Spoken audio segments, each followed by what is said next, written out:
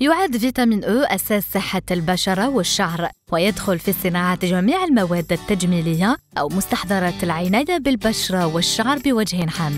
تم اكتشاف الفيتامين أو عام 1922 ميلادي والفيتامين أو لها العديد من الفوائد بالإضافة إلى خواصها المضادة للأكسدة مما يساهم في تقليل احتمالية الإصابة بالسرطان. بالإضافة إلى حفاظها على صحة العديد من الأجهزة الحيوية مثل الجهاز التنفسي والشبكية في العين كريات الدم الحمراء بسبب قدرتها على حماية جدران الخلايا ومنع تراكم الكوليسترول الضار وهو ما يساهم في تقليل مخاطر الإصابة بأمراض القلب والأوعية الدموية وتصلب الشرايين والسكري أو مضاعفاته.